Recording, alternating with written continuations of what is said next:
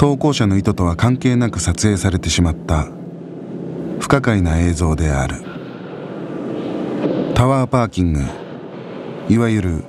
無人の機械式駐車場の内部を撮影したものであるがそこには不気味なものが映されていた。この前彼女行ったんですけどに着いてから、あのタワーパーキング車を止めてでそれで彼女と2人で歩き出したんですけど、うん、まあ、途中で彼女がカメラビデオカメラ忘れたことに気づいたんで取りに戻ったんですけど、まあ、なんかちょっと変なんですけどビデオカメラが、ま、勝手に録画状態になってていやもう消し忘れたっていうこともないんで、まあ、じゃあおかしいなっていうことになって彼女と映像を確認してみようっていう話になったら映像の始まりがその僕たちが車の中から出て行った後からになってるんですよ。でそのまま見続けてたらなんか子供のようなものが映り込んでて変なことがその日に何回かあってご飯食べに行こうっていう話になったんで、うん、あの飲食店に入ろうとしたら駐車場に車止める時にあのバックで入れる時に後ろに後方確認するためにカーナビゲーションとかでついてるやつあるじゃないですか。あ,、はい、あれ見ながらやってたら、まあ、そこにもまたなんか子供のようなものがこうスーって通っていったんで。何かがその画面の中を通り過ぎてそうです。びっくりしてまあ急いで確認しに行っても誰もいないし高速道路の料金所でスタッフにお金払う時に僕たちしかいないはずじゃないですか、はい、でも後ろになんかそのスタッフさんが後ろ僕らの後ろの方を見てニコって笑ってたんで。その時は助手席に彼女が座ってた。はい。でもしかしたらその人には何か見えたのかなみたいな。そういう変なことが起きたんはその日だけだったんですよ。行く時に、まあ、乗っていった車って実はレンタカーだったんで僕たちに何かっていうわけじゃなくてそのレンタカーの方に子供の子供がついていったんじゃないかなじゃあなんかもしかしたら取材班が調べた限りそのタワーパーキングに因縁めいた話は存在しなかったのだが、それではここで問題の箇所をご覧いただこう。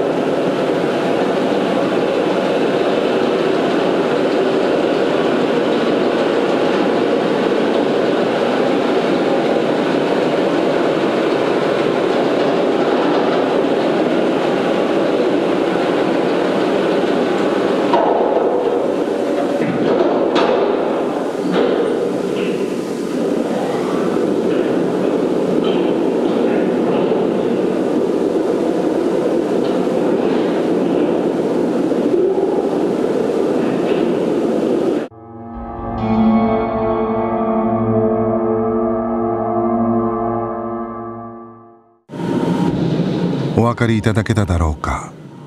タワーパーキング内で唐突に録画状態になるカメラ。映像を確認する限りやはりパーキング内は無人であるようだ。車が所定の位置に移動している時正面右奥の暗がりに子供とおぼしき姿が現れる。また画面が闇に閉ざされる直前フロントガラス越しにカメラを覗き込む顔がはっきりと確認できるのだが。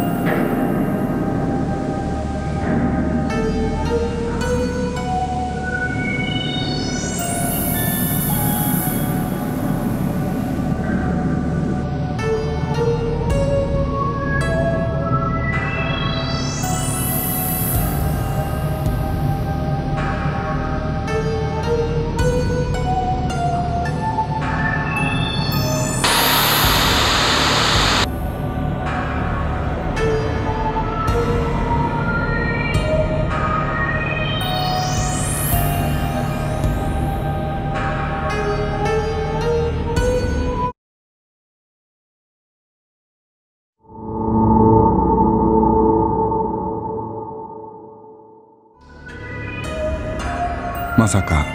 この存在がカメラを作動させたとでも言うのだろうか。そして今も投稿者が借りたレンタカーに取り付いているとでも言うのだろうか。